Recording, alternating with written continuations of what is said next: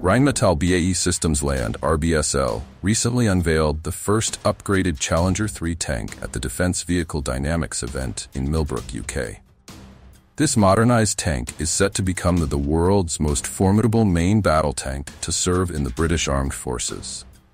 The Challenger 3, crafted at RBSL's Telford facility, is part of an ambitious 800 million pound project aimed at upgrading 148 Challenger 2 tanks to this cutting-edge standard. Recently, the Challenger 3 has surprised the world. An impressive demonstration showcased the tank's ability to fire remotely without any crew on board. In a presentation by James Cartlidge, the British Deputy Minister of Defence responsible for arms purchases, the tank was shown to be capable of firing in the absence of its crew.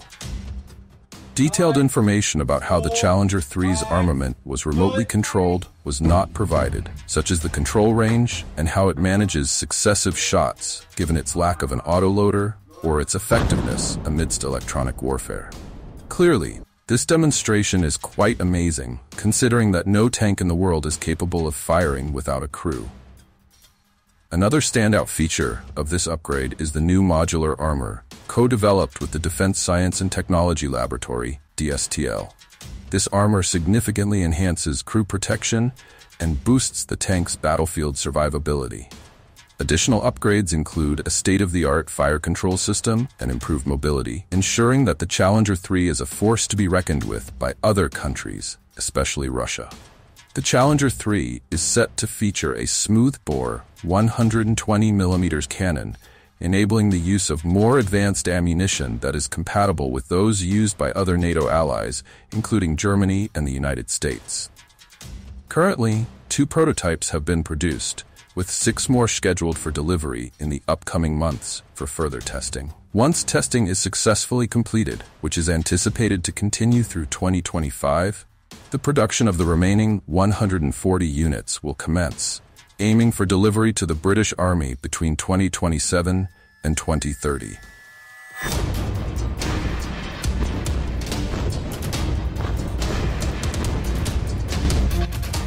Apart from upgrading the Challenger 3 tanks, the British Army is also focusing on modernizing its mechanized force with the Boxer and Ajax armored fighting vehicles. The Ajax serves as a light reconnaissance vehicle, offering mobility and battlefield reconnaissance capabilities. Meanwhile, the Boxer stands out with its modular design, providing flexibility for various missions, ranging from transport to fire support. These advanced combat vehicles are set to become the core of the British Army's future mechanized brigades. With modernized Challenger 3 tanks teaming up with the more nimble Ajax and Boxer, the goal is to create a versatile force that excels in both defensive and offensive scenarios. This lineup aims to leverage cutting-edge technology and integrated control systems, providing the British Army with a significant edge.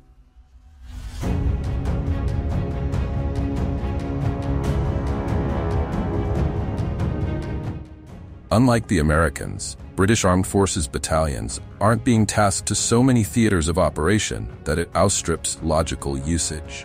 The British Armed Forces command apparatus is much more critical of situations where tanks are sent in order to maximize their effectiveness. So, just 148 new Challenger 3 tanks will be enough to meet the British Army's needs.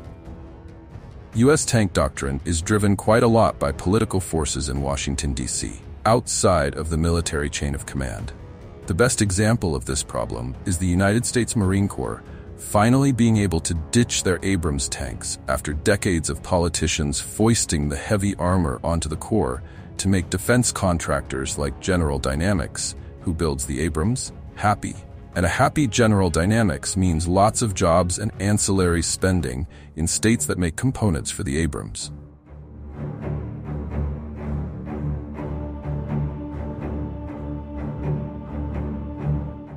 The key to the Challenger 3 redesign was to create something that is somewhat similar to the F-35.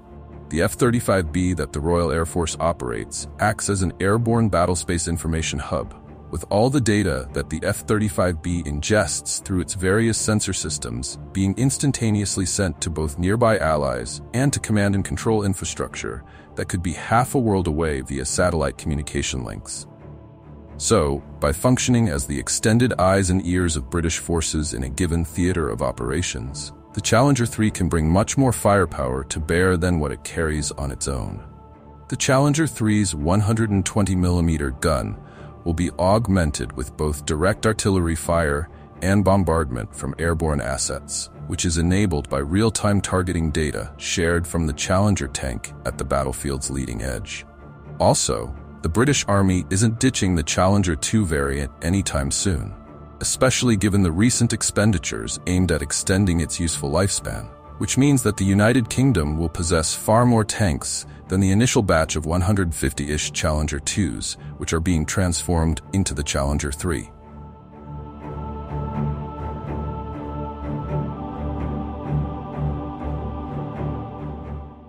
The UK's main battle tank, the Challenger 2, has been a stalwart in service since the late 1990s. Designed to deliver substantial protection and firepower for British forces, it boasts tough Chobham armor and a 120mm L-30 rifled gun. However, compared to the smoothbore guns used by NATO allies like Germany and the US, the L-30 is showing its age. Despite its durability and robust protection, the Challenger 2's electronics and ammunition systems are becoming outdated. One key limitation is the tank's electronic fire control system, which is no longer state-of-the-art.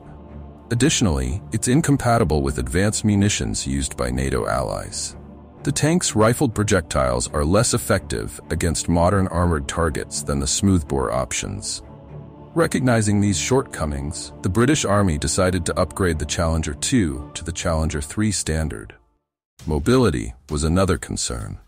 While its V12 Perkins Condor engine delivered consistent power, the Challenger 2 lagged behind its contemporaries in speed and maneuverability, affecting its battlefield flexibility. Operationally, the Challenger 2 remains functional, but not fully competitive compared to modern tanks from other leading armies. While it has successfully participated in missions like those in Iraq, it has faced a lack of technological upgrades in recent years. This makes it less suited for future conflicts that demand greater mobility and connectivity between combat units. Its navigation and communication systems also fall short when compared to modern digital solutions that enhance battlefield awareness.